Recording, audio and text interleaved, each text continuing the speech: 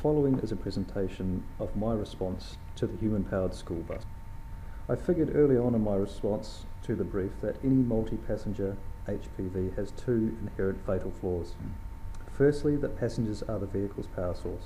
As passenger numbers change, so too does the vehicle's power to weight ratio. This can vary to the point that if too many passengers get off the vehicle, it becomes immovable or at least very inefficient. This is because the vehicle's unladen weight consists of all the components necessary to accommodate each passenger and all the structure needed to span a large wheelbase.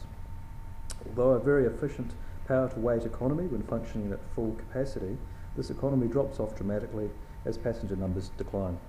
Secondly, these large multi-passenger vehicles have a large turning circle making them difficult to manoeuvre in the narrow traffic corridor to which they are traditionally relegated. These were the two main problems I addressed in my response. I circumnavigated these by modulating the body with each passenger riding in their own module. This normalises the vehicle's power to weight economy as each departing passenger does so with their own module. Whilst they are still subtracting their power contribution, they are also subtracting their weight contribution as well.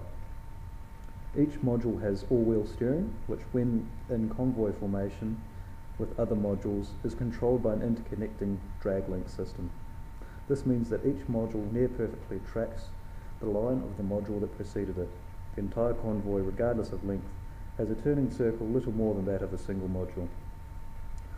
This modularity has the added benefit of flexible use by its passengers, with each module being a fully functional vehicle in its own right, meaning users can travel in convoy independently or a mix of both depending on their needs and abilities. Younger, inexperienced students can use the module under the supervision of their peers and guardians in a convoy, and older, more independent students can use them independently.